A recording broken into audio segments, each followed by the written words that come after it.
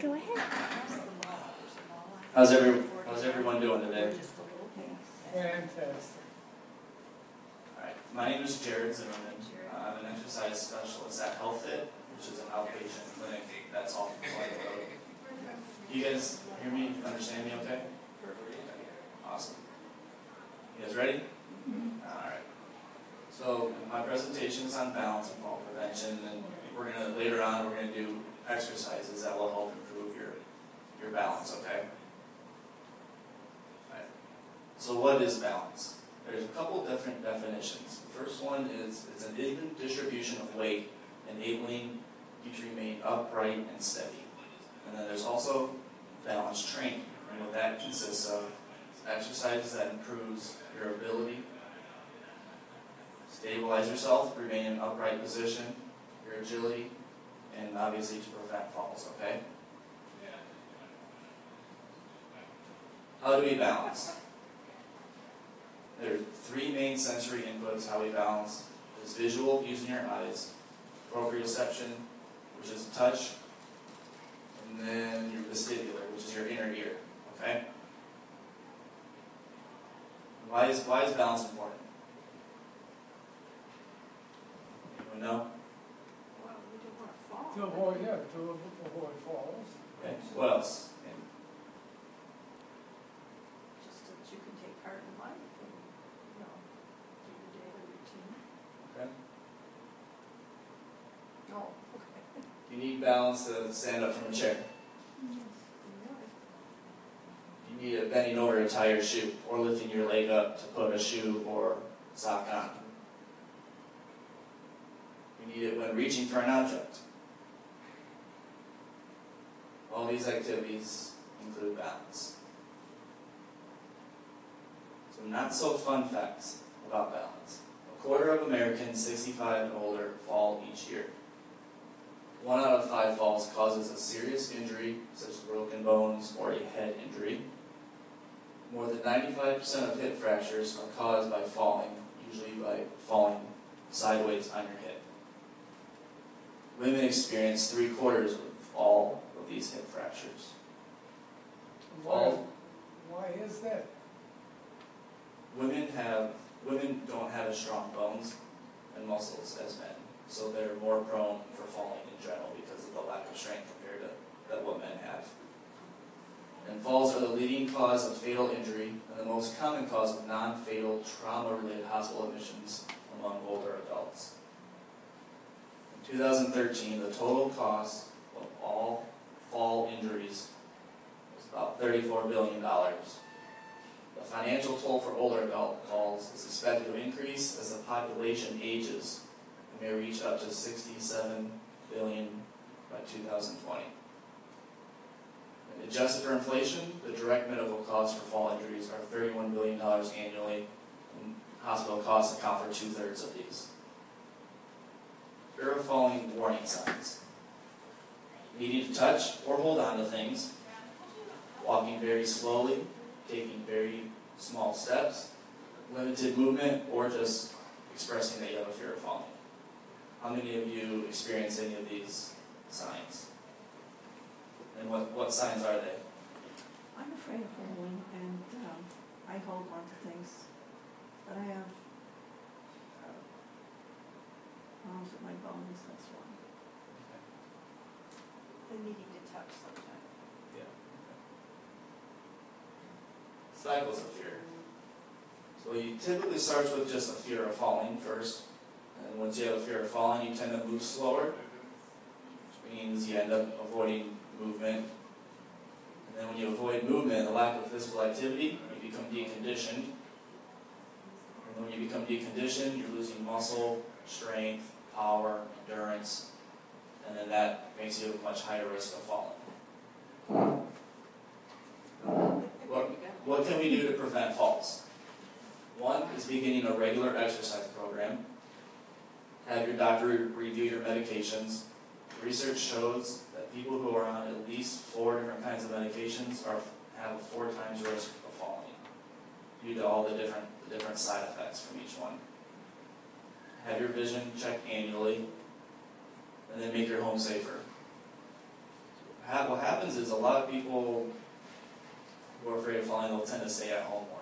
Well, more often, your falls occur actually in your own house. True or false? Falling is something normal that happens as you age. False. Correct. If I limit my activity, I won't fall. False. And you can avoid falling by staying home. I kind of answered that already. Alright. You guys ready to do some exercises? Sure. Alright. So the first one is sit to stand. I kind of mentioned this earlier in the presentation. So basically what it does, sit to stand is, is the same thing as doing a squat. Mm-hmm. It works leg muscles, it works your core, and it works your hips. Okay? How many of you have done this one before? How's it feel? Pretty easy? There's a lot of different ways to modify it. Can we Okay. do one a chair to demonstrate? Uh, yeah, I'll give you that chair.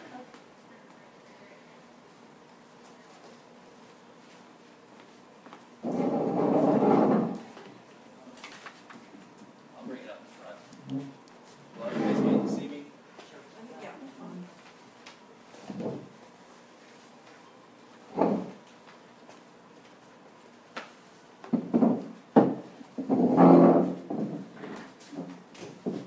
Okay, so for sit to stand, what you want to do is make sure you're sitting towards the ed- ed- edge of your chair, okay?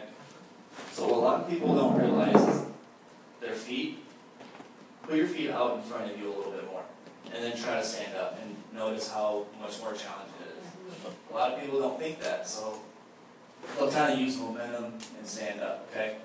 So the thing is, you want to put your feet underneath your legs for leverage, okay? And you're gonna feel a lot more in your legs. So when you have them under your feet, you have the leverage to be able to stand up on your own, okay? One thing you don't wanna do is you don't wanna use momentum to stand up, okay? So everyone go ahead and try it. See, I was taught to lean a little further. Mm-hmm. Yep, putting your shoulders kind of over your, your thighs. But when you're doing this, is you wanna keep your chest, chest out. You don't want the chest to be facing the floor when you're doing it because that places more stress on the lower back. So you kind of want to use your hips. See how my hips come forward? You don't want to use your back to come forward. You want to use your hips to bring them forward, and that brings the shoulders over your legs. So you have the balance to stand up, okay? The other couple other things, the knees. Make sure the knees don't cave in. Okay? Make sure the knees always stay in line with your toes. They don't have any problems with your knees caving in when you stand up. A couple other op- options you can do if the sit to stand is real easy. The lower the chair is, the harder it's going to be, okay? So optimal range of motion is about parallel to the floor or just below. Um, you can also use an exercise or stability ball to put against a wall, and then put your back against it and squat down. Okay, so a lot of different. The nice thing about the squat is there's a lot of different ways to modify it, um, make it easier, make it more challenging, uh, depending on if you have trouble with the right form, if you have joint issues, if you have back issues, there's different variations you can do. Uh, a squat that's easy makes it easier on your back. Okay. In my opinion, the squat is the best exercise you can possibly do because of how functional it is. How many times you get in and out of a chair every day, in, in and out of a car, in and out of bed, even on and off the toilet. It's all a version of doing a squat. How often should you practice this? Uh, doing squats, um, obviously you do it all the time throughout the day, but as part of an exercise routine, it's every other day. Just like when you lift weights, if you lift weights today, you rest tomorrow. Okay? So it's a 48 hour rest period. The next one is calf raises. How many of you done this one before? Alright. Let's go ahead and demonstrate for me. Who wants to demonstrate? So if you have balance issues, you can put your hands up against a wall or a chair. Okay? The more stable you are doing a specific exercise, the more you're going to work on your strength. Now, if you're doing it on like an unstable surface, it's going to take emphasis off strength, and it's going to work more on balance. So as you can tell, if you're doing it without holding on to something, and then if you do it when you are holding on to something, it's a lot easier, but you're gonna work the calf muscles more. Calf muscles are important because the calf muscles help propel yourself forward. If you walk real slow and you go to push off, right here, you can feel, you can feel your calf assisting you in the propulsion. How long do you want to stay up on your pants, like on your toes? Yep, you're just gonna come up, pause, delay for a second, and then you're gonna come down slow and control. Any kind of exercise you do, you wanna control, slow and controlled movements, okay? Next one is staying, is staying with your feet together. This is difficult for some people, and if it's easy, close your eyes. Put your feet together, and if you feel like you need to hold on to something, you can stand behind your chair, okay? Stand there, and balance. That's easy. Close your eyes and let me know how you're feeling. You feel like you're starting to sway a little bit? You, you can feel your muscles Yeah. working. Yep. Like in the hips too. In the hips, feel a little bit. And Yeah. yeah. So when you take your, like I said, three of your sensory information is visual, proprioception, and vestibular. So when you close your eyes, you're taking one of those away. You're taking vision away. So you're using more of proprioception and your inner ear, okay? Next one is lateral walking.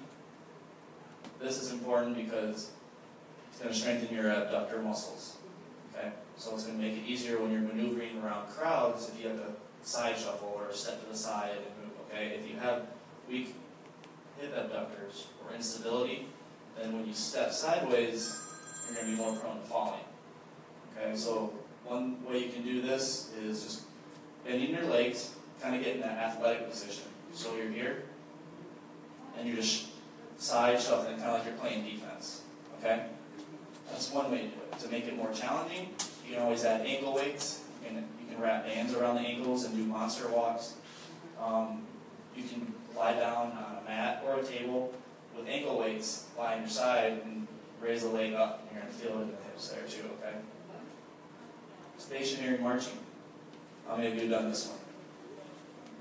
Well, this one, you want to make sure you're driving the knees up high, okay? So the faster you go, the harder it's going to be. And you're shifting your weight as Yep. Yeah. So raise the knee up, and if you want to make it even more challenging, raise up and hold for a second, and then come down. The leg that you're going to be balancing on, you want to make sure you're shifting your weight onto that leg. Okay?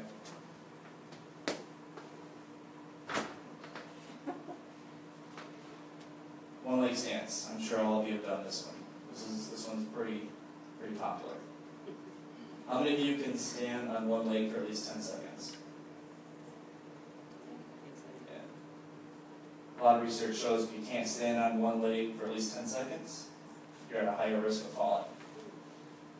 Go, everyone stand on their left leg. You need to hold on to something, you can hold on to something.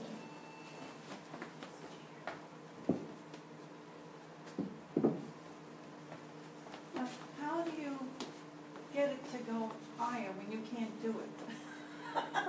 How do you improve You it? know, yeah, how do you improve it when you can't, I mean, I, I can hold maybe for two seconds.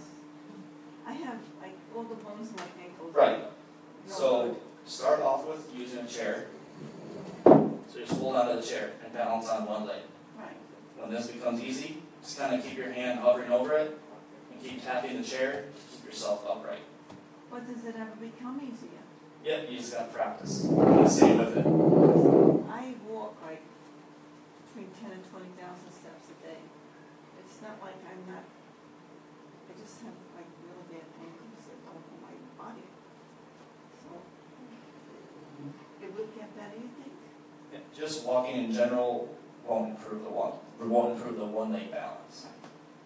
Walking is very important, but doing one leg stand, um, I also have, the more unstable the surface is, the more it's, the more you're gonna be working the ankle. You wanna work up to that, okay?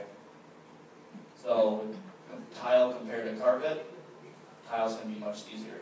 You can balance on tile easy, move the carpet, or like a foam pad, or a balance disc.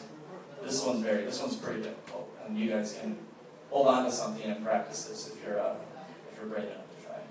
So how many times a day should you do this if you want to actually get it to work? Balance exercise you can do every day. But like twenty times, three, three? It, so with one thing stand, build up to doing, build up to doing thirty seconds. If you can only do five seconds, that's fine, you just keep practicing at it and you'll get better. Unless there is an underlying condition with your ankle, okay? And if there's an underlying condition with your ankle, if it's not just due to lack of strength, there's an underlying condition, then you may wanna see a physical therapist about the ankle. Does core strength have anything to do with the one leg stance? Like, is there something you should be practicing? Balance, in general, does require core strength. If you don't have core strength, then you're gonna have a much more uh, postural sway. You're gonna be swaying back and forth. So if you balance on one leg, and if you don't have much core strength, you'll be able to notice your upper body kind of wobbling back and forth. Okay?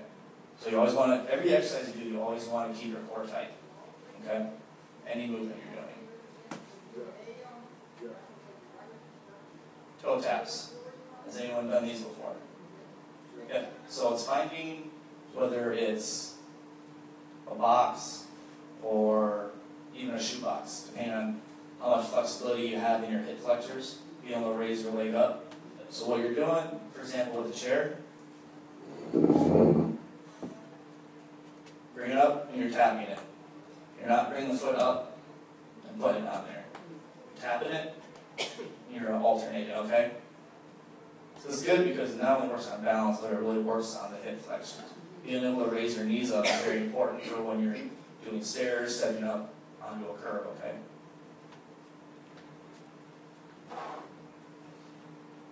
Stance. This is another really popular one. How many of you have done this one? Yeah. How many? Doctor's office, testing. Yeah, it's, it's not sobriety testing. Alright. So let's go ahead and try this. Yep, and that's the tandem walk. That's a little more advanced. Yep, so you're going to do heel to toe. If that's too difficult, what you're going to do is place your foot, keep it in front, but you're going to bring it out to the side a little bit. And it's going to widen your base of support. And you actually try to walk that way? No, No, not for this one. Not for this exercise. This is a tandem stance, so you're just gonna stay stationary. So again, optimally, you want to be heel to toe. If that's too challenging, keep the foot in front, but bring it out more. The further you bring it out, the easier it's going to be. Just try to keep the foot in front of your back foot, okay? And then you switch legs, okay?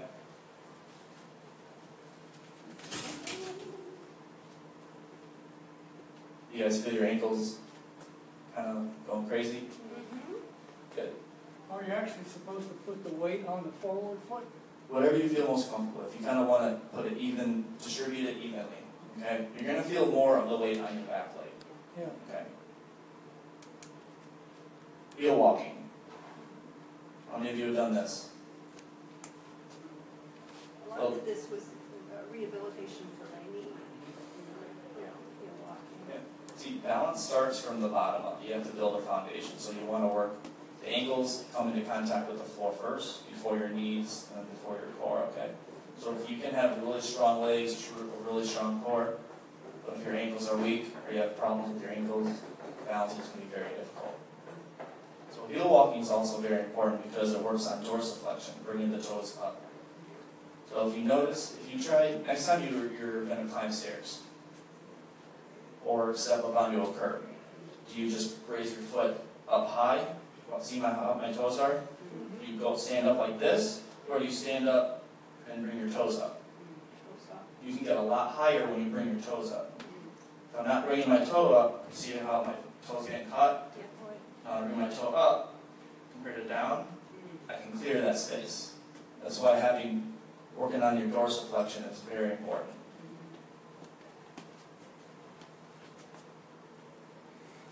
Okay? There's three different strategies that comes with balance, and one, there's um, ankle strategy, hip strategy, and stepping strategy. Okay, ankle is, for example, if someone came up and kind of bumped you just real lightly, you're really swaying with the ankles, and that's it. The harder someone pushes you or you get off balance, the more uh, external load is pushed on you, you'll either use your ankles for a small, you'll use your hips where you'll do this, or you'll, if it's too hard a force, you're gonna, you're gonna step, okay? So this one is to work kind of on the ankles. So to do this, you can stand with two chairs, you, in between two chairs, or next to a wall. You're just gonna kind of shift your weight on the balls of your feet, kind of feel your toes gripping the floor, and then slowly move back. Now, when you're doing this, make sure there is a wall behind you, because you don't want to sway back too far and have an oopsie. so do you feel your toes kind of curling to keep you, yourself upright? Yep. So you get to that point, kind of pause for a couple seconds, really feel your toes gripping. And then slowly sway back. And that's the work, that's to work on the ankle strategy. Now, the hip strategy is you find like a, find like a half foam roller. You guys know what a half foam roller is? Yeah. So you can stand on that and start to push your hips back and balance on that, balance that way. Okay? Now, the step strategy, uh, one of my favorite exercises is, uh, it's called a power step, and it does work on the hips, or the, the step strategy. So what you're gonna do is you're gonna, go up to, next to a wall, and you're gonna keep your, you're gonna keep your body, you're gonna stand a few feet away, keep your body upright, and what you're going to do, you're just gonna slowly, kinda like what we do with the ankles, shift, feel your weight shifting from the balls of your feet to your toes, and you're really gonna, it's kind of an advanced move. So you're really, you're basically making yourself fall. Falling forward and then stepping, okay? So that works a lot on power. You need strength and power in that leg. It's very functional because you stub your toe, you trip over something, what are you doing? You, you're doing the exact same movement, okay? So that's why this is one of my favorite exercises to do. So again, always have your hands up so your hands can catch yourself if your leg doesn't. Okay? So again, you don't want to bend the hips. Keep your body upright. And you're just going to slowly shift your weight. And then the last second. Yep. Okay? And so you may want to make sure there's a, it's a padded wall too. That's hard to find.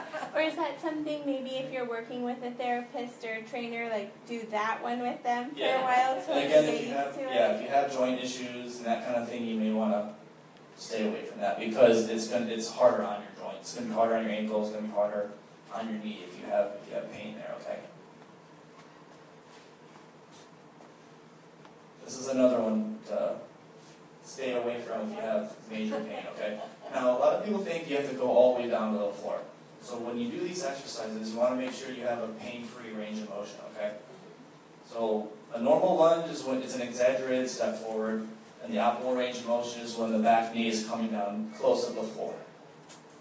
Now, I, I get a lot of people can't go down that far, so doing a partial range of motion, go as far down as you can as long as it's pain-free. So again, with this, make sure there's a wall next to you, or a chair, and step forward, keeping the knee in line with your toes, and then start to drop that back knee down. Feel the weight all on your front foot. All the way you get in your front foot, the back foot is just to help you balance, okay? And then if you if you're able to, with the back leg stand up, really push off the front heel. And that works on power also.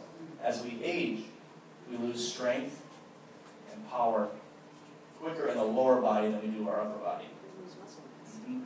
Yeah, we, we lose muscle mass, which is uh, sarcopenia. But we lose power quicker than we lose strength. And it's all in the lower body. We lose the upper body too, but lower body's quicker. So that's why it's even more important to make sure you're doing weight training for your lower body. Okay? Having lower body strength is going to keep your independence longer than upper body strength. Okay? How do you do weight training for your lower body? What's that? How do you do weight training for your lower body? For your own body? Lower body. For your lower body? The squats we did, both these exercises, any exercise that's working the lower body, really. So doing squats, doing lunges, um, working on flexibility is important too. That way you know you're gonna be going through the full range of motion. For example, if you don't have a lot of flexibility in extending your leg, If you can only extend it out this far, you're gonna have major balance problems. If you step forward, you're gonna be walking like this, and if you trip, if you can't bring your leg fully out like that, mm-hmm. yeah, you're gonna fall forward, the momentum's gonna take you forward. Does anyone wanna try the side lunges? I'll demonstrate it. So what you're going to do is, again, it's, you're gonna sidestep to the right. When you're doing this, make sure you're pushing the hips and the butt back, okay? So you're gonna sidestep, shift your weight to that leg you're stepping to, and make sure the hips and the butt are back. And you're gonna come down, bend that right knee. And again, with the, keep the weight on the heel, and then press back up. What is that called, that move? Side lunge or lateral lunge. Okay? A lot of these are yoga positions in a sense too. Yeah, yoga, tai chi, all that's, all that helps with balance too.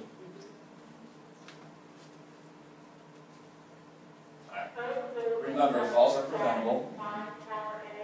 Move your body, build your balance, and strengthen your legs. Okay? Improve your health. Check your medications. Keep a healthy mind. And fuel your body with the right nutrition, okay? Nutrition is also kind of a small point of nutrition. If you're not eating enough, also if you're not getting the right kind of nutrients, you can feel tired, lethargic, and that's gonna affect your balance, okay? And then remove hazards, make your home safer, check your eyesight annually, and wear safe footwear, okay? Anyone have any questions? Do you have a handout? I- Yeah, there was a. Yeah, there should be some more handouts. Yeah, that's good. Thank you. So What, what's, what's the biggest thing that you guys have took, took away from this? Or what was something new that you learned? Use it or lose it. Basically, yeah, the worst thing you can do is not move. Um, I read some research the other day, there's an article that talked about, um, complete bed rest. You lay in bed all day for an entire day, you can lose up to five percent of muscle mass. Wow. Yeah. So for, so, so, yeah, so think, Wow. think we'll go two weeks. so think about if you have some type of operation, and you, you're gonna be bed rest for whether a day or, you know, up to a week or something. That's why you try to, they help you to try to get up and move and as soon as you can. Maybe that's the best thing I learned today. Any questions? So overall, if you're if you're doing exercises for balance, so outside of your normal daily activities, ideally you should be doing, say, a list of these exercises every other day or every day. Weight, so when it comes to weight training, it's a forty-eight hour rest period. When it comes to working on like cardiovascular exercise, like walking, swimming, that kind of thing, you can do and should do almost every day. Balance exercises, you can work on every day. Now, for example, the squat, that, that, that works with balance, but that's a strength exercise. So the squats, you don't wanna specifically do every day, because you're already doing them throughout the day anyways, so you don't wanna devote more time to doing them even more every single day, okay? Use the squat and the, and the lunges in the regular exercise program. So if you if you if you practice these exercises and say you can only stand for a couple seconds on one leg, or you identify with some of those fears of falling, is that the point where you should maybe ask your physician about it, or if you do go to a gym, talk to a trainer or or a physical therapist or something to to see if maybe there's a a specific thing you should focus on? Yeah, if it's, if you have balance issues and it's mainly only because of lack of strength, definitely go, you don't need to go see a physician for that it's just lack of strength. Go to a fitness center, get a trainer, even just if it's for a couple sessions to get ideas to do, and then you can, in the second session, you can go over more, take those exercises with you, and then you can kind of do them on your own. Okay? Trainer is great because the number one reason people get trainers, and the best reason why, is because for safety. You know, for that entire hour, you're gonna get the, the most out of your money, okay? Or if you aren't motivated to practice at home? Yeah. Shouldn't There's a lot of different reasons people get changed. One is just for a social aspect. One is if they have an appointment, they know that they know they're going to show up. And then another reason is the, the main reason is just to improve their health. And we do have one of our um, physical therapist here. Uh, for if any of you haven't done the balance assessment yet, she'd be happy to take you through it. Um, it just takes about five minutes, and that is um, something they can write down the results, and you can take that uh, to your next appointment with your physician if you um, are looking for a referral to, you know, get some um, additional balance training. So, thank you so much, Jared. Thank you. Thank you.